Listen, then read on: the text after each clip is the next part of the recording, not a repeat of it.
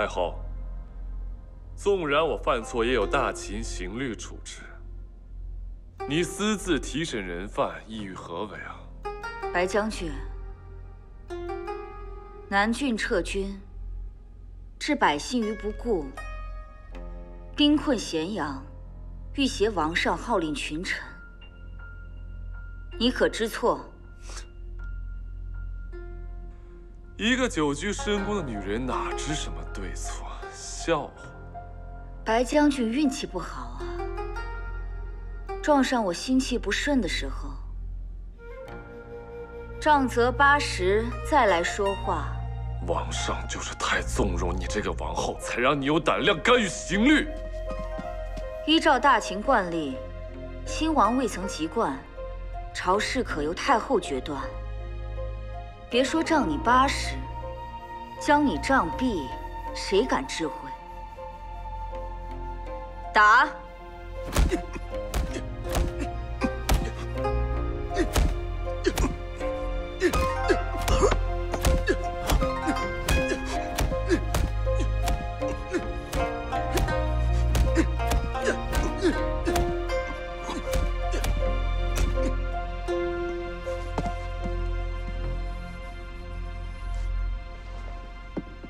南郡弃民视为不仁，杀良冒功视为不义，背弃父愿视为不孝，要挟王上视为不忠。你一个不忠不孝、不仁不义的东西，有什么资格在我面前叫嚣？你信不信？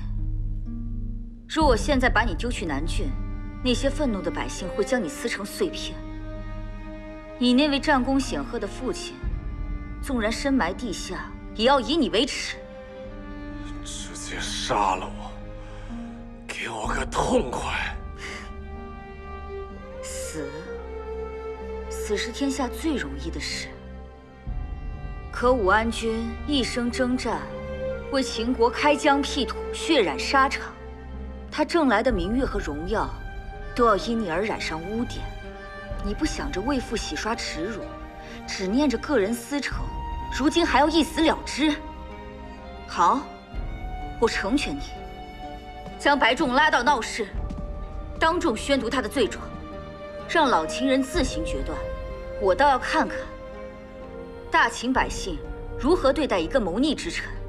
你到了地下，如何面对你的父亲，面对因你受诛的白氏宗族，面对那些无辜枉死的南郡亡灵？去吧，太后。我知道错了，我知错了。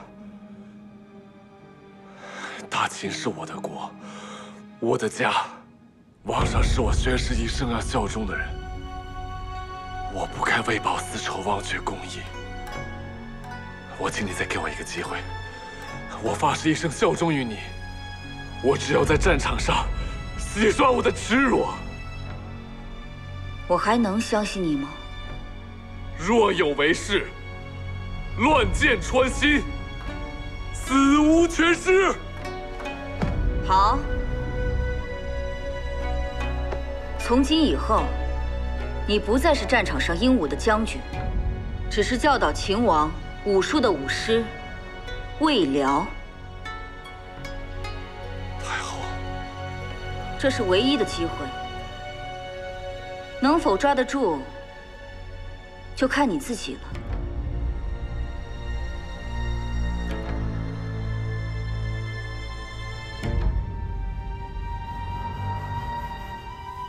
臣未了，谨遵太后旨意。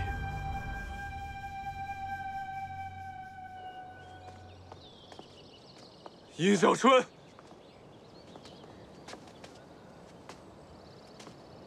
我这辈子第一次这么信任一个女人，你为什么要背叛我？你明明答应我了。爱是什么？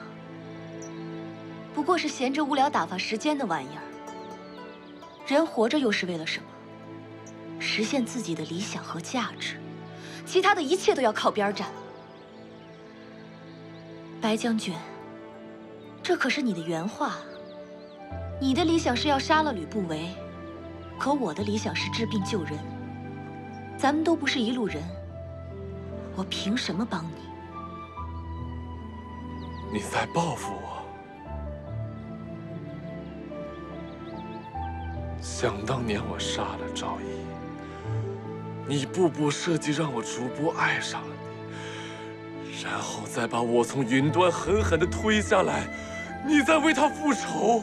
不，两军交战，各凭手段，不是你死便是我亡，这就是他的命。我不怪任何人，但你不该践踏我的感情，更不该蔑视女人。在你看来，女人为了所谓的爱情可以背叛至交，为了自己心爱的男人可以不顾一切。告诉你，你将我看得太低了。我与浩然相识十五年，经历风雨，生死与共。就算全天下所有的男人加起来，都没有我的至交重要。你还想用将军父之位？叫我违背道义和信诺，白昼，你未免自视太高。我从来就没有认识过你，我今天好像才第一次看清了你。这只是给你一个小小的教训，你得牢牢记住，别总昂着头看人，小心脚下的路。若你再有行差踏错，谁都救不了你。小春，你我朝夕相处多年，难道你对我真的没有一丝真情吗？